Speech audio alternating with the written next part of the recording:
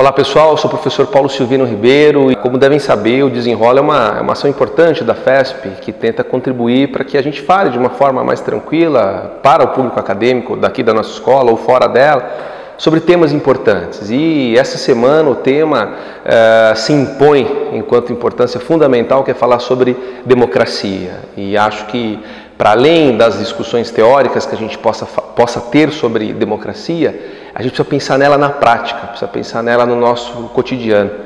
Grosso modo, a democracia ela é uma instituição importante para que uh, nós nos organizemos socialmente, pautado na participação, pautado na, na defesa de direitos, né?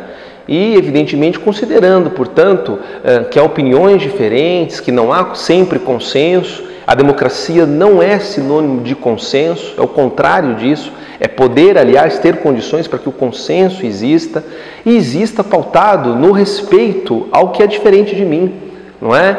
E é exatamente isso que está faltando uh, para nós hoje, nessas vésperas de um segundo turno uh, tumultuado, absolutamente complicado, principalmente para aqueles que defendem a democracia enquanto valor, enquanto instituição. Portanto, Está é, tá na hora da gente pensar sobre o que de fato a democracia representa para a nossa vida. Não precisa ser sociólogo para saber o que é o cientista político. Basta conviver, basta conviver com o outro, basta saber, portanto, que nem sempre é a minha opinião que deve prevalecer, mas eu tenho de ter o direito de expressar a minha opinião. Isso é um contexto democrático.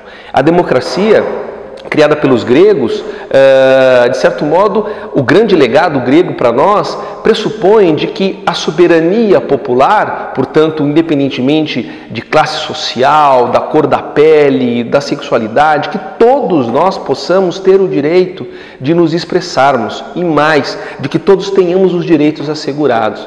Portanto, democracia, demo, eh, significa povo, não tem nada a ver com demônio, embora o demônio pareça estar a solta nesse contexto, é, e cracia vem de kratos, que é poder, portanto a democracia é o poder do povo.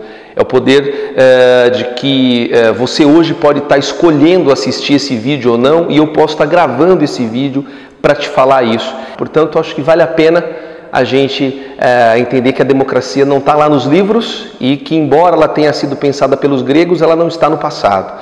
Ela está no presente e o que a gente não pode é deixá-la de fato de escanteio ou que ela seja levada ao passado. Para a gente falar sobre democracia, tem um outro assunto importante que está muito ligado a ela, que é discutir cidadania. Né? Então, quer dizer, cidadania, grosso modo, pressupõe é, a manutenção de três direitos que são interligados, evidentemente, e que quando falta um deles não tem cidadania. A cidadania só existe quando a gente tem a garantia desses três. E quais são esses três? É o direito civil, político e social. Então, quer dizer, o que a gente precisa entender é que falar de, de, democracia, falar de cidadania, não é retórica, não é falar bonito, não é falar difícil, é pensar aquilo que tem a ver com a sua vida, com o seu cotidiano. Se você vai ter direito ainda a estudar, a falar o que você pensa, direito à saúde, quer dizer, direito a votar, direito a ser candidato, quer dizer, como é que a gente consegue garantir direitos quando a democracia não existe? Portanto, a democracia é uma condição fundamental para que a gente tenha garantido a nossa cidadania. A cidadania, portanto, não se encerra apenas no voto. O voto é uma parte dela. Né? Quer dizer, o voto é apenas um dos direitos políticos que nós temos enquanto cidadãs e cidadãos. Tá certo? Então, vale a pena ficar de olho a quantas anda ou não anda a nossa democracia. Então, esse é o meu, é o meu recado, é o desenrola de hoje. E um grande abraço, até a próxima.